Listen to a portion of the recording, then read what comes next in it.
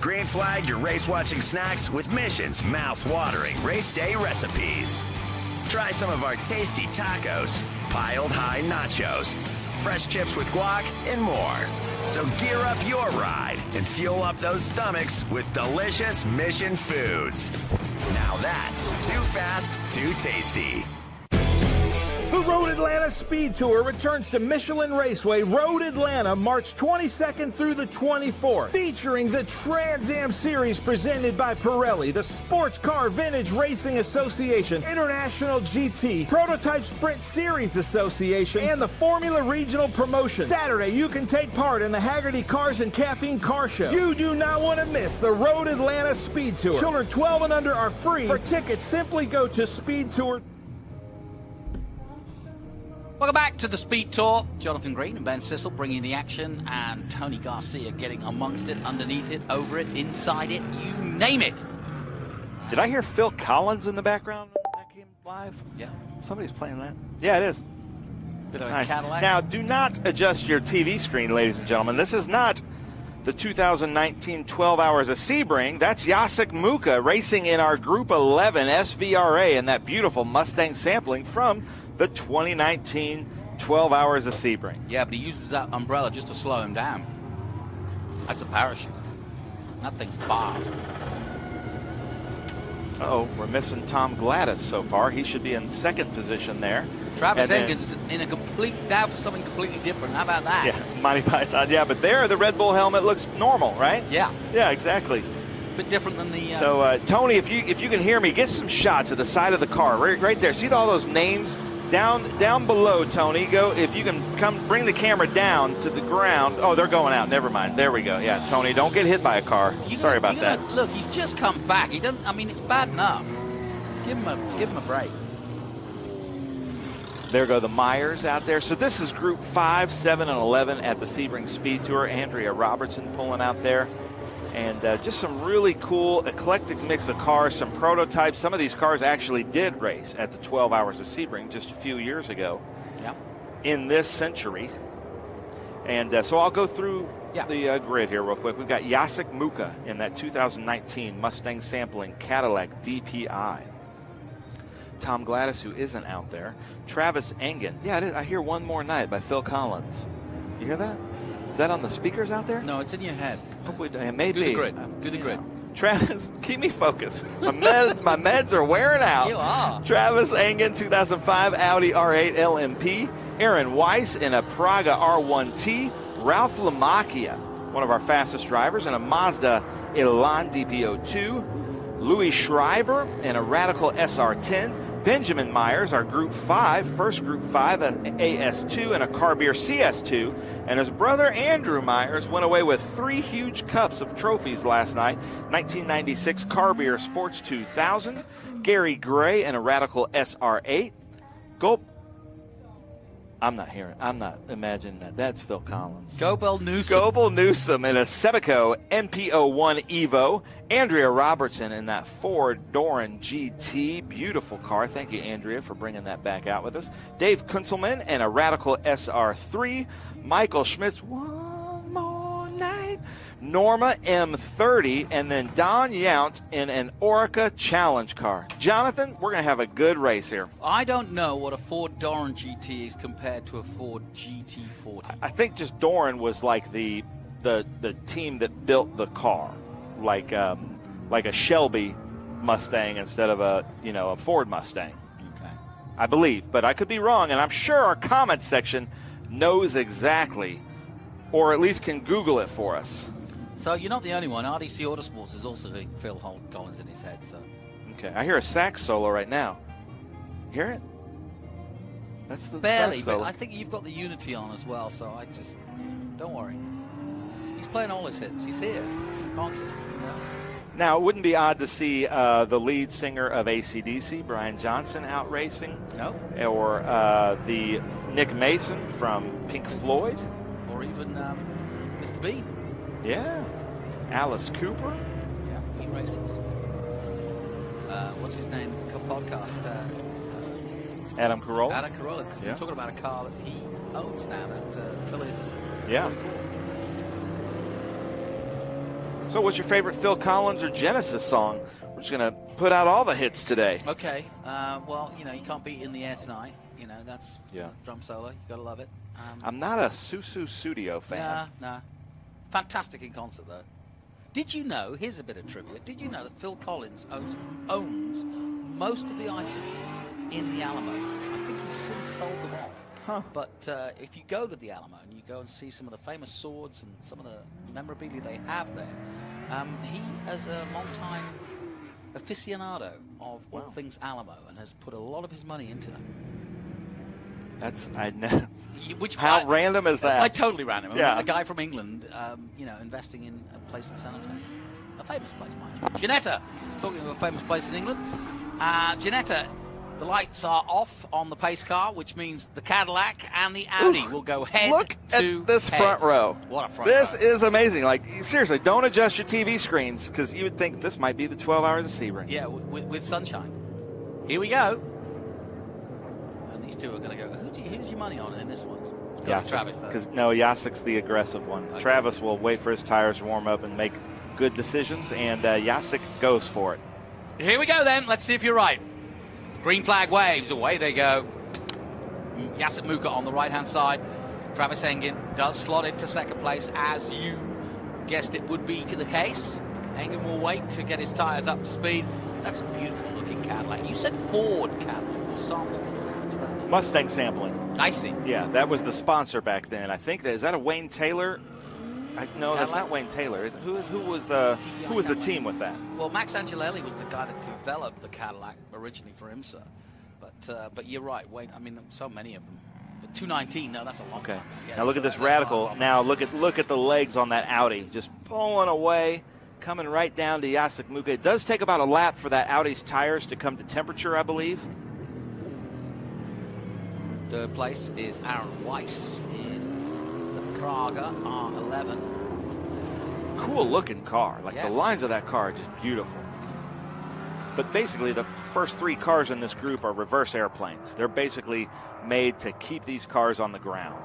Yeah, and in fact, the Audi in the middle, the all grey uh, with touches of ray, uh, red, is the most successful Audi racing car of all time. Isn't that cool that it's here with us? And will be with us probably four or five more times this season. So it's so cool to see that car, and especially sometimes in the paddock, you can go to GMT and they've got all the clothes off of the car, and you can see Yeah. the engineering inside it. It is it is unbelievable to see the insides of that car. And they've made it easier and easier to fettle with. Uh, they used to be have literally technicians from Audi to be able to get started and work it and all the rest of it, but they've made it a lot easier now. But this top four, look at them, really close together as they come out of 16 and down the Ullman Straight. Line of Okay. here comes the Audi. Yeah, but yeah, the Audi and the uh, Cadillac are pretty equally yoked at this point. Maybe Travis is turning it on. Look at that. Ah, we've got some aficionados. Oh man! All right, so give us your um, your historic Sebring 12 hours announcing voice. Remember those from those films of the 50s and 60s? And here they are, the American Classic here at Sebring. And it's good to see Bill McLaren and Bruce McLaren together on track. Brian Redman is also in this one. He's in a Ferrari. That's amazing. I wish I had that talent. It was Travis Engen in the Mission Foods Turn One, but there it is, that number 72. Such a cool Aaron Weiss, a Praga R1T. Beautiful lines on that car, but that Radical went up ahead of him. Yeah, we just had Erwin Grevin saying Thomas Eng was one of the uh, drivers in that car. I think that does. Um, Beloff was another one. Beeler. Uh, we're talking about the Audi. Travis went wide. Uh, sorry, the Cadillac you were talking about, and I was talking about who drove the Audi as well. But there's nothing between the top three. Really impressive so far. Jim Booth at the wheel of that Radical. It's good to see the Nat Radical, uh, the nimble Radical, just keeping up. I mean, he's got plenty of grunt anyway, but so nimble in the quick corners. Yeah, yeah. It's a it's a short wheelbase, uh, narrow car. Lots of fun to see. We have this PSSA group that races radicals and revolutions, and until you see those two cars side by side, they look pretty similar. But uh, the revolutions are quite a bit wider. Yeah. Have a have a, a little bit wider track, but uh, really fun to see those cars on track. And we'll have our first PSSA race next weekend at Thunder Hill. That's right. There's the 30 of Michael Schmitz in a Norma M30 Group 11 car. I have not heard of the Norma. Mother's name is Norma. She doesn't know she's a racing Really? car. Yeah. She drives like a racing driver, but she didn't know she's named after a racing car. All right, now somebody's playing smooth hits in there. Do you hear that? No, uh, you're imagining things. I might be. Uh, there's, there's people It's really sad though, because I feel like wanna if- lie down? I could imagine better than Kenny G. There you go. There's that Mustang sampling. I'm going to snap back to it. Jacek Muka over Travis Engen, but Travis Engen really giving him the grunt here going into 17. And here comes Michael Schmitz, might be up there with these two in that Norma M30. So he started at the back, but really moving his way up to the front. Still haven't got a glimpse of Andrea Robertson on track yet. She's in 10th position in that uh, Ford Doran GT. Here come the leaders. Another lap completed, the clock ticking down.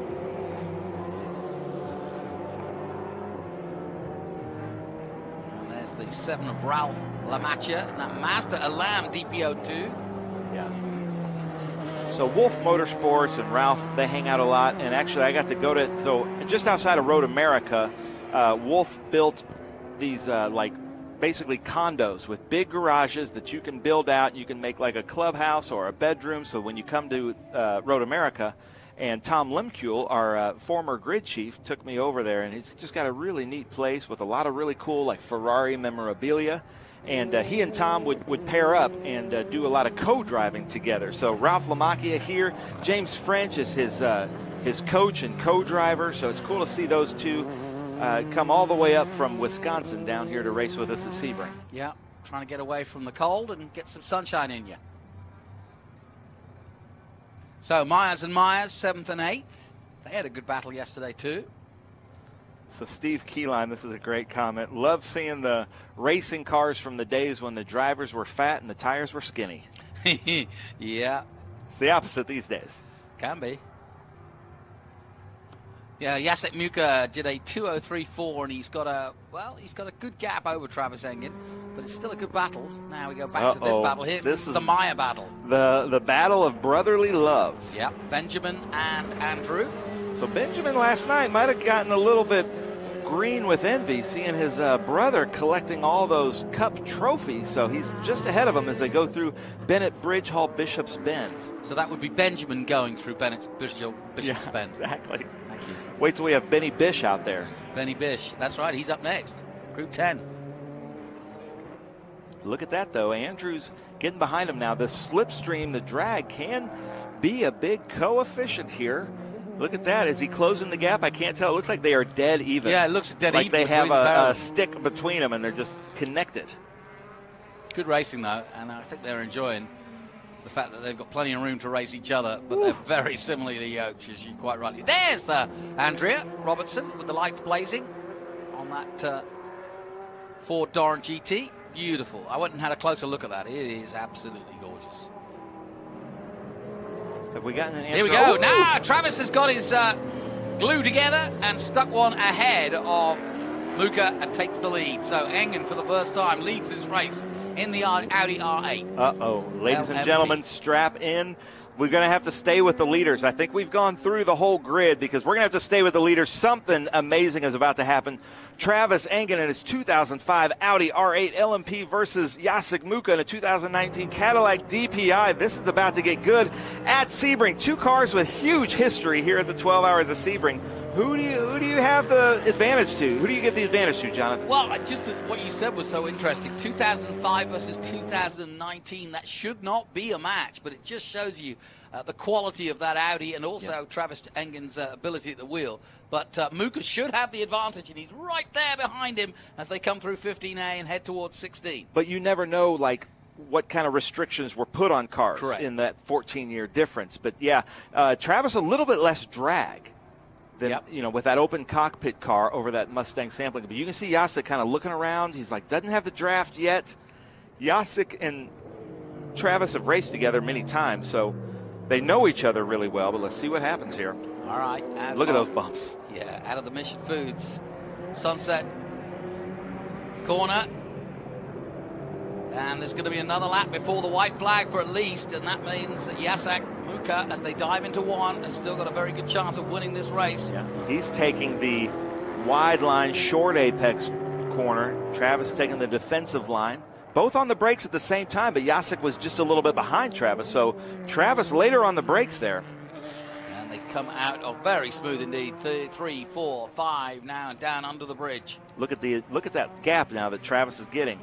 Yeah, he's getting some good. Think, uh, uh, using the grunt of the Audi there for sure. Jacek's going to have to be a little bit later on the race, but man, he used all the track there. He almost came out tracked out wide right. Just seems like the Cadillac under braking, a more modern car, just really dives closer and closer under heavy braking, especially at the Cube 3 hairpin there, turn yeah. 7. Gary Gray, and then number 34, 2013 Radical SR8. I wish I knew and I should know. I'll know by next weekend what the difference between an SR10 and an SR8 is, but hopefully our comment section does. It does seem like yesterday that those Audis were new, and I have a few slot cars of those Audis, but look at this. Andrea Robertson, another car that uh, raced the 24 hour, that very car raced the 24 hours of Le Mans. She podiumed that, she? Yes, yeah. She and her husband. What a cool story that yeah. is.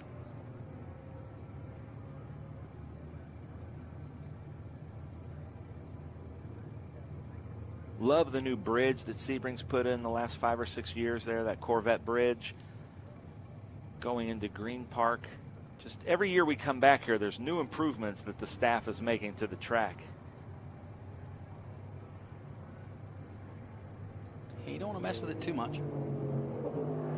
Yeah, they're not really changing that. They're changing like the infrastructure and the things for the spectators, but the track is staying the same. Yeah, if they if they came here and repaved and smoothed out the track, I think the whole motorsports, uh, anybody in motorsports would revolt against it. Mm.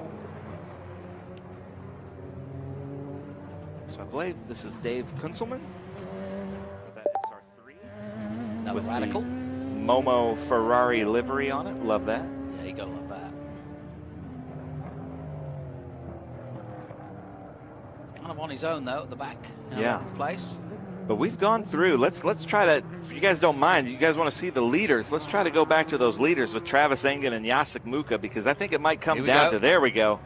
I love it. Look at that as they come through Cube Three turn seven. What are you seeing, Jonathan? Well, I'm seeing, like I said, the Cadillac goes very close there. That's about the closest he comes. And then he stays with him down the Fangio. But watch this. Well, next time we get a drone shot, you'll watch. Yeah. The Audi will start to just pull away slightly, see? And then by the time they come into Tower, well, Jacek's out breaking him. Yeah, he's out breaking him every time. Tower again, very close. So it, what he needs to do if he wants to make the approach and make the get over the slipstream, he needs to uh, tuck himself up at 16, get through uh, Bennett's Bridge Hall, uh, Bishop's Bend, and then 15, 15A, 16, then tuck himself right there at 16 under braking. Now, at this point here, if we get it, watch this angle.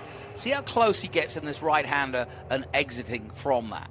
And if he is close enough, then he might have a chance down the Ullman Straight. Here we go. That's what I'm talking about. Look, close as he's been, right? Yep.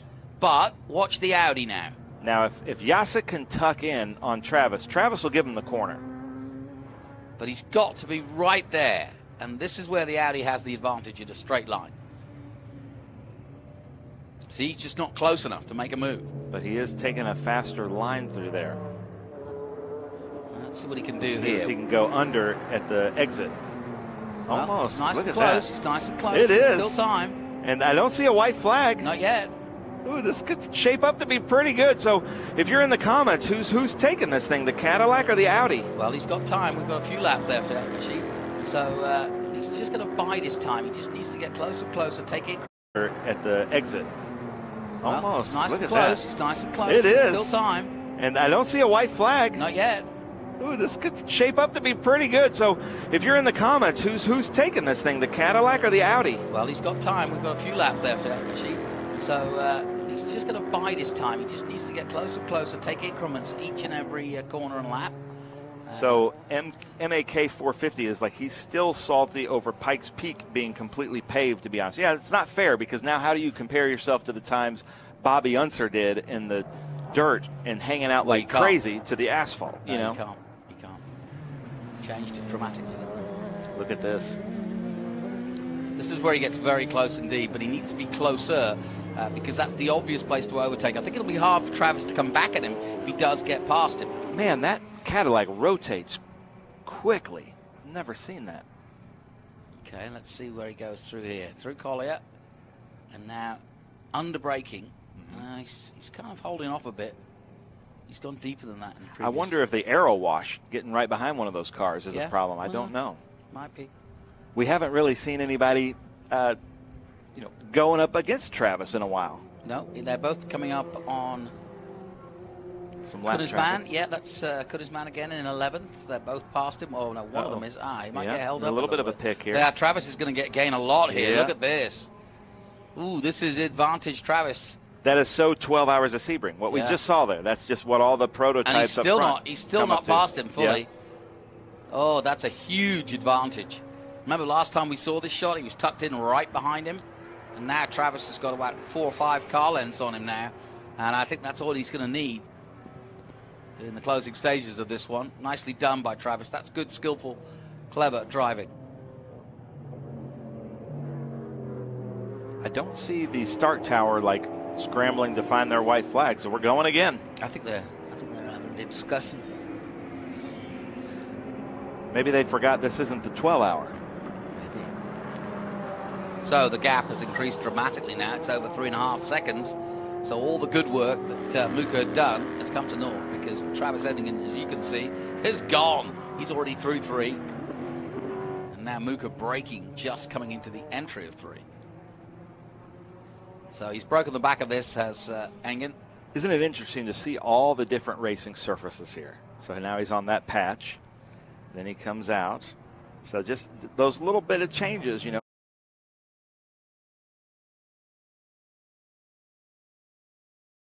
When the right weather can kind of mess you up Oh, yeah. because it's just different grip levels, different adhesion. Then now he comes into a concrete part of the Cube 3 turn 7 hairpin. This is third place. This is the 63 of Jim Booth. Been a quiet race for him, but uh, he's pedaling away nicely. Out of Cube 3 and down the Fangio straight. If I don't, if I'm not mistaken, I thought Jim Booth used to drive a white uh, radical with us last year. Maybe he's got Maybe a new car Well, for the, uh, the SR10 is probably one of the most modern radicals, so maybe Yeah. he's upgraded to a more modern Uh, radical. yeah. There's La Bamba Racing down there. I see the La Bamba Racing machine. Happy to have them here. Thanks for joining us. And there's Jim Booth.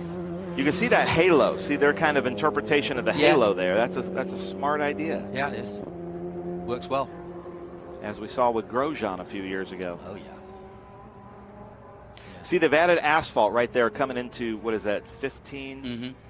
14, 15, 16. Yeah, so that's turn 14. That wasn't there, I think, last year. It's going to be a safe first place, uh, third place, excuse me, for Booth. The battle rages on between Engen and Muka, but Muka's kind of lost out. The gap now three and a half, if not more, at the end of this lap. Winding down. This are Group 5A, 7, 11, and their second race of the weekend. I want to see this Praga, the black car behind this red car. I want to see the, the lines of that. It's just a really cool looking car. Look at that. It looks like Spacey, we're 20 it? years in the future. Yeah, it does, doesn't it? It's actually fourth place at the moment. That's the 72 of Aaron or Weiss uh, on the Praga. Man, that looks rough. I do like that. Good looking car. Low to the ground. Respect the bumps. That's Yeah, Sebring's tagline. Yeah. Well, he's having fun, that's for sure. Fourth place overall and already getting into traffic as he dives out of turn one.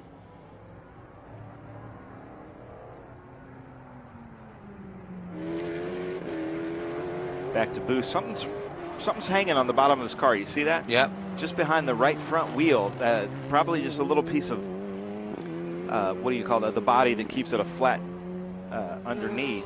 Something's come loose there, and there's our leader. The But tray, the, the the gap has dropped. yeah. It was three and a half. Well, Engen doing a good job of controlling this race, but uh, yeah, we'll keep an eye on the gap. It's 2.8 now. Look there, you can see it now for yourself. So it's come down a little bit. So he's replied well, has uh, Muka. So Mac 450 says his money is on the Audi, but he's rooting for the Caddy.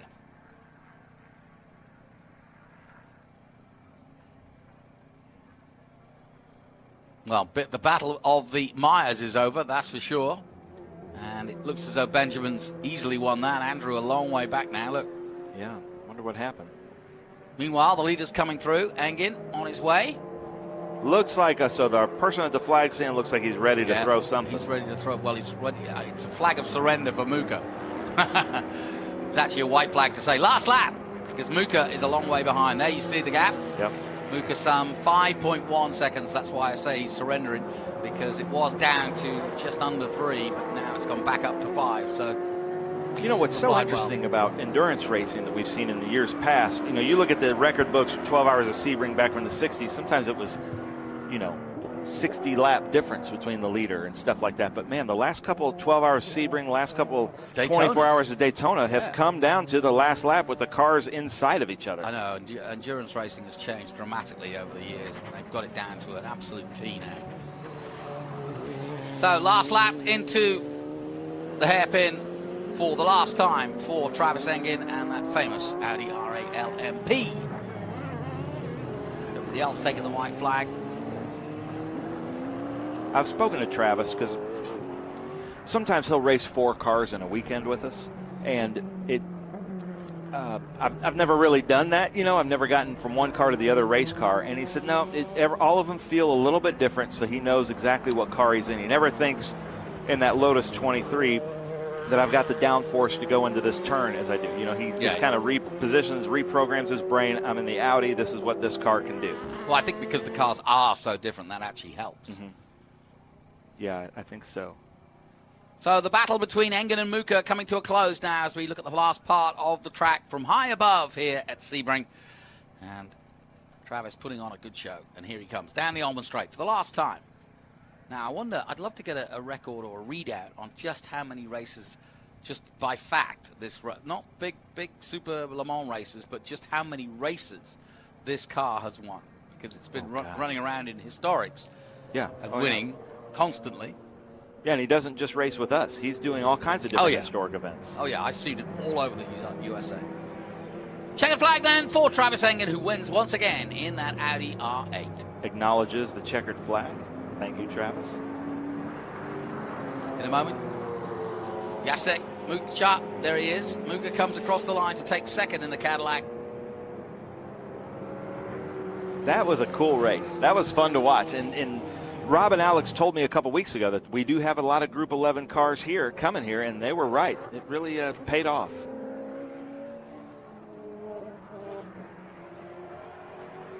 All right, well, as we pull just away from Sebring for a moment, we'll take a short break. We'll be back with more action from SVRA here at the Speed Tour in Sebring. Okay, so pretend this is your race car. It's on the trailer, and you have an accident. Ouch! At least your truck's insurance will pay for another one? Yeah, not so fast. Standard insurance won't replace your race car, whether it's in the trailer, in the paddock, in the garage, or the repair shop. But at Hagerty, we can protect it for what it's really worth anytime it's off the track. No matter what or where you race, offer less than a set of race tires. Hagerty, let's drive together. taking on the challenge, moving ahead. It's about going further, faster. At Customers Bank, we know that great things happen when you combine the best of technology with a deeply human touch. So we offer a wide range of personal, small business, and commercial banking solutions with outstanding personal service, giving you the edge you need to take on tomorrow. How long we got to think? They called five on the grid. All right. We'll, we'll stand by. Yeah. Two minutes.